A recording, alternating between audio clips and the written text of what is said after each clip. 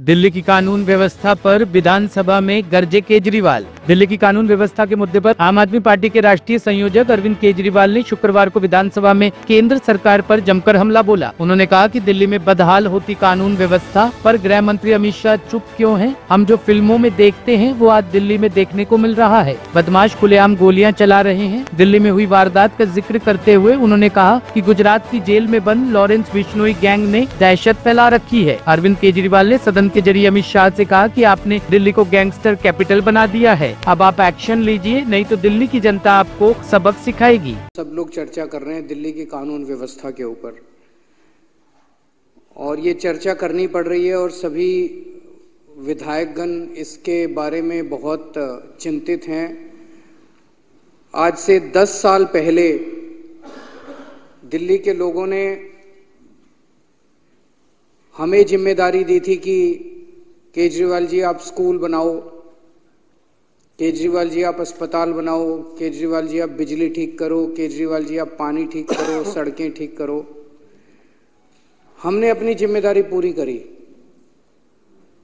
हमने स्कूल अच्छे कर दिए हमने अस्पताल अच्छे कर दिए दवाइयाँ ठीक कर दी हमने बिजली ठीक कर दी हमने कई इलाकों में पानी ठीक किया कईयों में बाकी है वो भी कर रहे हैं।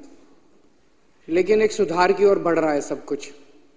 हमने कई सड़कें ठीक की, कई बाकी हैं, वो भी कर रहे हैं। दिल्ली की जनता ने इनको एक ही ज़िम्मेदारी दी थी। दिल्ली आधा राज्य है तो आधी ज़िम्मेदारी दिल्ली सरकार के पास है, आधी ज़िम्मेदारी केंद्र सरकार के पास है।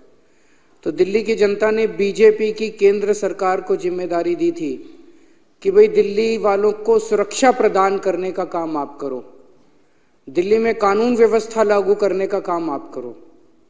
और केंद्र सरकार में जो केंद्रीय गृह मंत्री हैं अमित शाह जी, ये ज़िम्मेदारी उनके कंधों पे आती है कि दिल्ली के अंदर सुरक्षा, हर व्यक्ति को सुरक्षा प्रदान की जाए और दिल्ली को सुरक्षित रखा जाए, ये सीधे सीधे अमित शाह जी की ज़िम्मेदारी है। पिछले दस साल से धीरे धीरे करते करते और अब पिछले कुछ सालों में तेज़ी से दिल्ली की कानून व्यवस्था बद से बदतर होती जा रही है।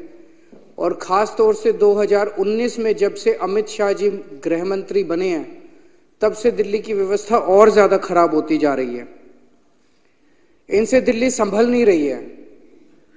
दिल्ली में, दिल्ली का बहुत बुरा हाल हो गया है, दिल्ली की कानून व्यवस्था का बहुत बुरा हाल हो गया है।